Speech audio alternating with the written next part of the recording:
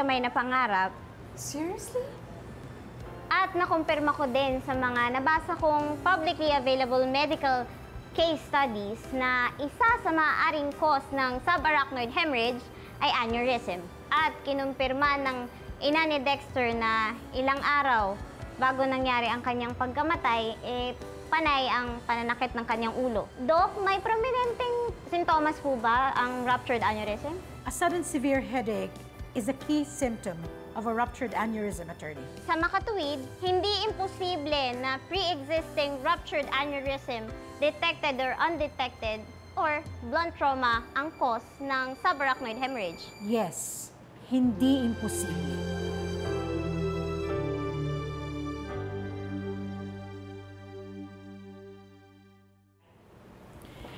As I explained earlier, it is highly probable, especially if he exhibited a key symptom of the condition bago siya bumagsak. So, Dr. Pilapil, based on your testimony, ibig po ba sabihin na 100% ang cause ng pagkamatay ng biktima ay aneurysm? No, attorney. What I'm saying is that there is a 50-50 probability that there is a ruptured pre-existing aneurysm dahilan ng subarachnoid hemorrhage of the victim. But doctor, you also admit na wala po kayo dun sa lugar ng insidente para ma-prove ang sinasabi ninyong probability. Objection, Your Honor. The counsel knows she's crossing an expert witness and not an eyewitness. Attorney Simmons knows that. Sustained. Any more questions, Attorney Simmons? No further questions, Your Honor. Redirect, Attorney Matias. Yes, Your Honor.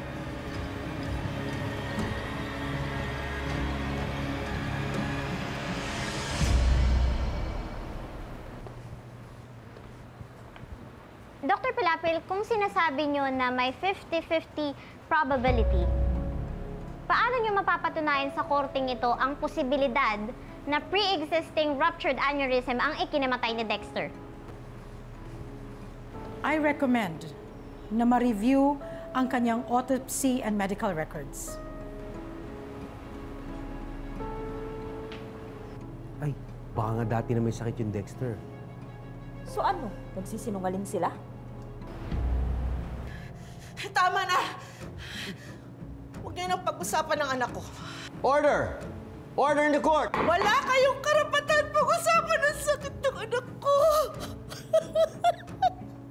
Your Honor, as per recommendation of the expert witness, may I request a review of Dexter Montenola's medical history report and autopsy to be diagnosed and assessed by at least two medical investigation experts. We will be formally offering those documents as part of our additional pieces of evidence, and may I present the medical experts as our additional witnesses as we made the required reservations during pre-trial, Your Honor. Granted, Attorney Matias. We will include that in the order. That would be all, Your Honor.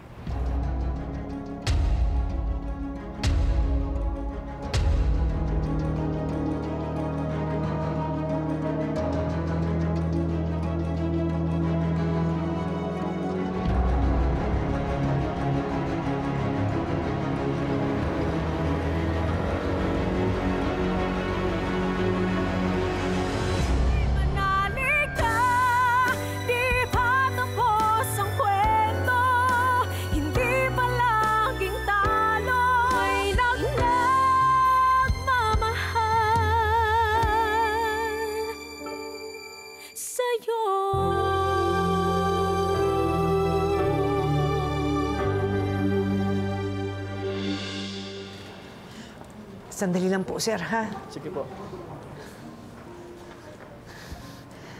Anak, Tinang, suko ka pa ba? paano pa ako sa suko? Pagkatapos ng ginawa mo kanina, inilalaban ako hanggang sa kahuli-hulihan. Ang galing-galing mo, anak.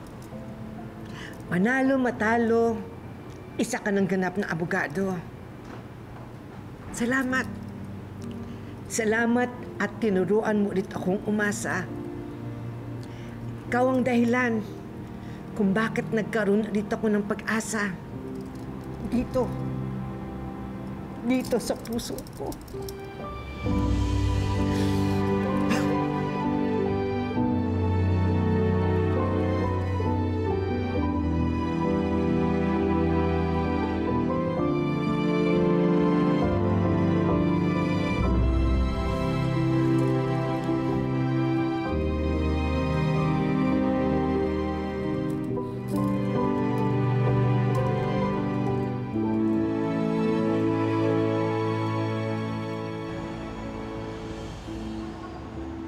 In the matter of the people of the Philippines versus Cecilia Machas. Wherefore, after checking the past medical records and the autopsy of the victim, Dexter Montinola, the court finds the accused not guilty of the crime of murder under Article 246 of the Revised Penal Code of the Philippines. So ordered. Session is adjourned. Malaya na po kayo. Ayusin ko lang po yung release papers niyo, Tina, ha? Tapos, magkakasama na po tayo ulit.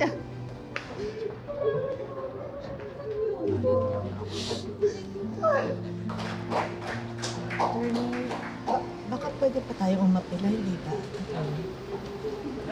Ah, Miss Montreal, pasensya na po. Once na promulgated na po na not guilty ang akusado, hindi na po pwedeng umapila kasi magiging double jeopardy na po ito at bawal na sa batas. Hindi. Lumaban pa tayo, attorney. Pwede pa tayo lumaban, hindi ba? Mrs. Montenola, paano naman namin kayo ipaglalaban kung hindi naman ninyo sasabihin sa amin ang buong katotohanan? Kagaya nito, meron palang pre-existing condition ng anak nyo na si Dexter na hindi naman ninyo sa amin sinabi. E di sana napaghandaan namin. Nakontra natin kung ano yung nangyari. I risked my whole organization for you and my name for what?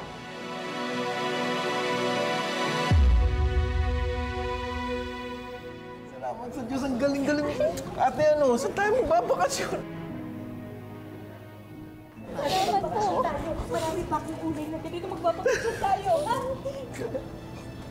Hindi na muna.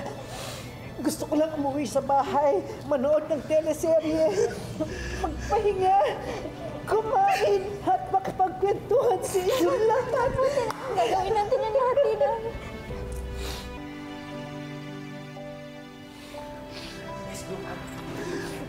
Anak, salamat.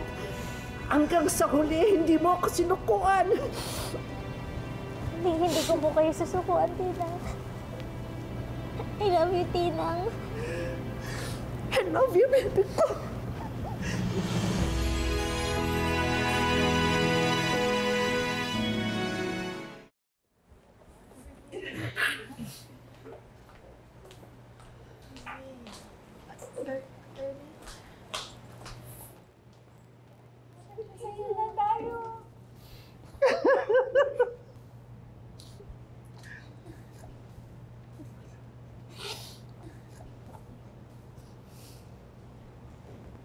Ano, Lilit? Masaya ka na, ha? Masaya ka na? Sis Montenola, I'm sorry po sa pagkamatay ni Dexter. Pero wala na po kayong dapat sisihin. Meron.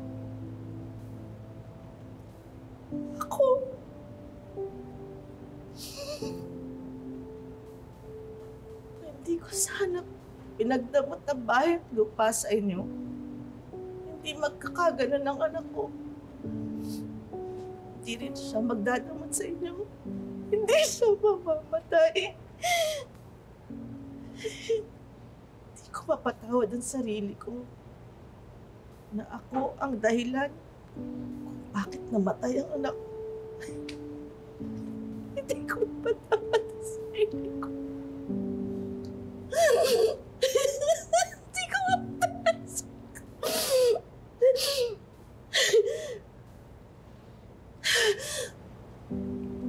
Mrs. Montenola, Huwag niyo na pong sisihin yung sarili niyo. Wala naman po tayong ibang dapat sisihin kundi yung sakit niya eh. Tama na po. Huwag niyo na pong pahirapan yung sarili niyo. Wala po kayong kasalanan.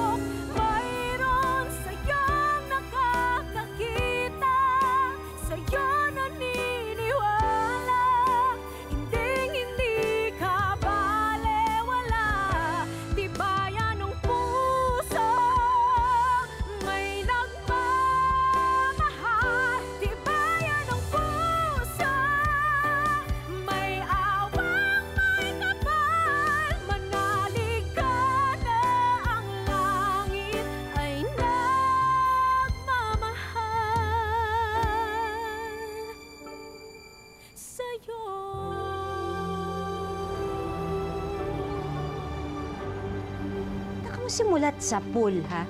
Sarili niya pala yung sinisisi niya. Tapos ipapasa niya kay Ate Ses. Abay, pagkalaki-laki ng mga abala nun, hindi ba? Eh, pabayaan mo na kung may tek-tek man siya. Ang tek-tek. Paano saltik? Saan? Basta ganito, magpasalamat na lang tayo. Tapos na to. Ha? At ilang oras na lang, makakasama na natin si Ate Sis. At magpasalamat na rin tayo na nakita ng lahat ng tao kung gaano kagaling na abogado si Lilet. Siyempre. Bestie ko yan. Oh, Lilet, I'm so proud of you. Huwag mong kakalimutan yung mga natutunan mo dito, lalong-lalo na yung tungkol sa Meredith na yun. Hindi, hindi ko po makakalimutan ka, Lorena. Hinding hindi.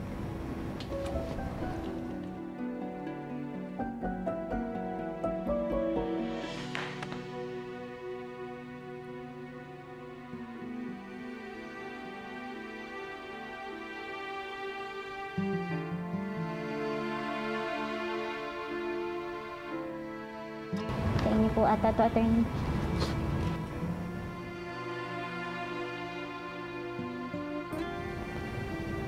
Hindi niyo po ba ako i-congratulate? Tingnan mo nga naman. Lumaki na ulo mo sa maliit na panalo. Naalala niyo po yung sinabi niyo sa akin noon? It's a dog-eat-dog world. You have to be alert. Hindi pwedeng tatanga-tanga ka. Tama po kayo. Yung iba, gagawin lahat para maungusan ako. Kahit pa masaktan ako. At yun eksakto ang ginawa niyo. Pumanig kayo sa kasinungalingan. Tinapaktapakan niyo ako. Dinurog ng pinong-pino. Pero sa huli, buong buo akong humarap sa inyo. Dahil ako, malinis yung konsensya ko. Eh kayo po,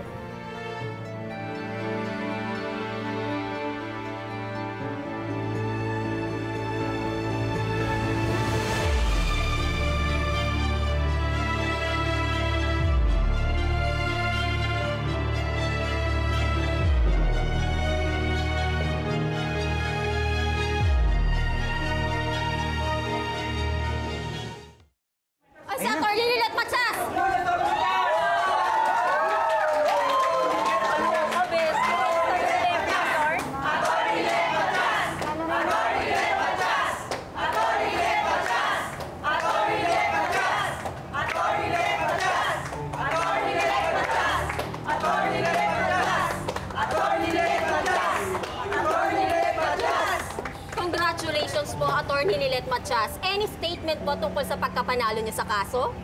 Natalo niyo daw po ang isang big shot lawyer. How does it feel po? ang sabi nila may tatlong uri ang katotohanan. My truth, your truth, and the truth. At ngayong araw na naig ang aming katotohanan. Ang katotohanan. Ang katotohanan na nagpalaya sa walang sala. Ngayon, alam na ng lahat na ang aking inang si Cecilia Matias ay hindi isang kriminal. Dahil siya ay isang taong ang tanging alam lang ay ang magmahal. Ikaw na ang bagong mukha ng hustisya. Ikaw na ang bagong Lady Justice. Mabuhay si Attorney Lilette Matias!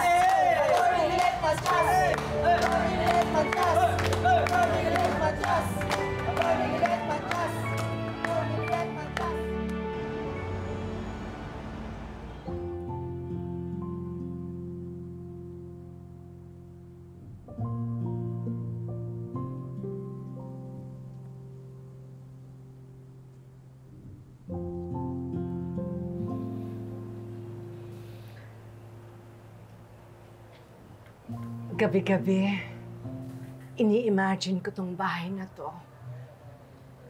para hindi ako malungkot sa selda. Minsan, nagkukunwari ako na magkatabi tayo. Pero anak, ngayon, totoo na. Magkasama na tayo.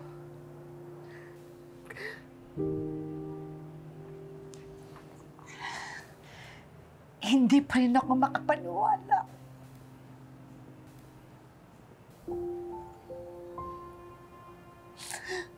Magkasama na tayo ulit, anak.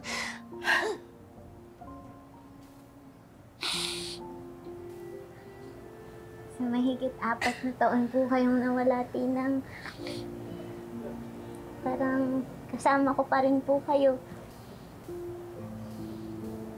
Kasi sa tuwing mag-aaral po ako, hanggang sa nagre-review na po ako para sa bar exam, kayo po yung laman ng isipan ko. Naging determinado po ako sa pag-aaral ko para maging abogado dahil sa inyo. Dahil gusto ko pong linisin yung pangalan niyo.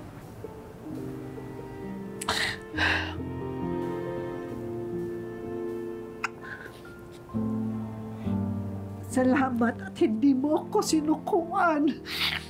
Dahil hindi niyo rin po ako sinukuan, Tinang. Noong mga panahon po na tinalikuran na ako ng magulang ko, kulang pa po itong sukli sa pagbibigay niyo sa akin ng pamilya.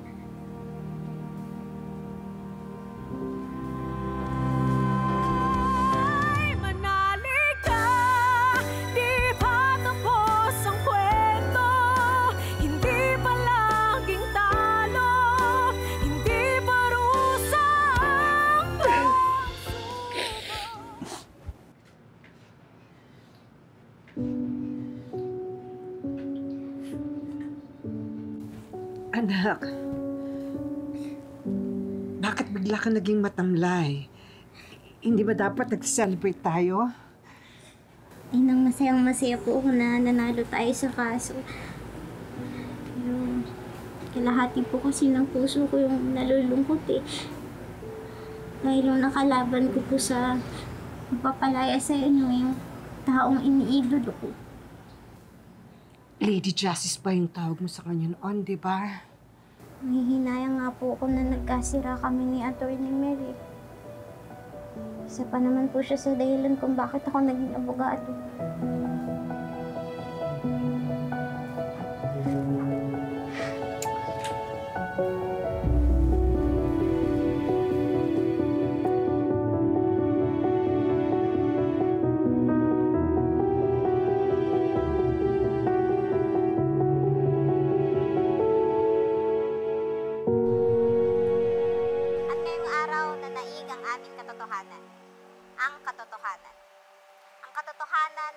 Na nagpalaya sa walang sala.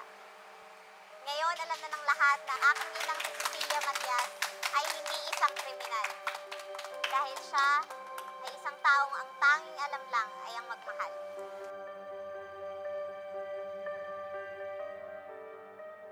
I still can't believe that we lost to Lilith. Kung hindi natin maaapila ang verdict just because of double jeopardy, then what if we accuse na nagkaroon ng legal errors during the trial? Such as errors in admission of evidence or di kaya procedural mistakes. Mom, kung mapaprove natin sa appellate court, I'm sure that it might order a new trial. Huwag na, anak. Alam naman natin na naging maayos ang proceedings ng case. Hindi natin maipapanalo to sa appellate court. And here I thought na makakaganti tayo kay Lilith after that false accusations that she did. I'm sure na mas lalong yayabang at tatapang yung sinungaling na yon dahil lang she got a taste of her own victory. Hayaan mo na muna, anak. Let her enjoy this taste of her small victory. And then later on, we will make her pay for ruining your reputation.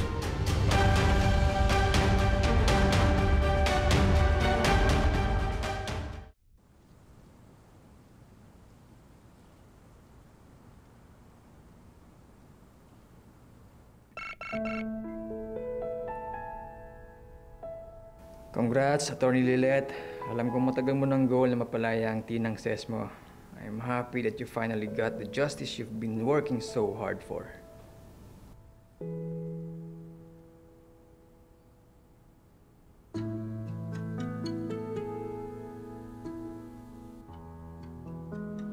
Ngayon, congrats congrats ka. Tapos mong kampihan yung legal team na nagdidiin sa tinang ko. Di na ikaw yung boning kilala ko.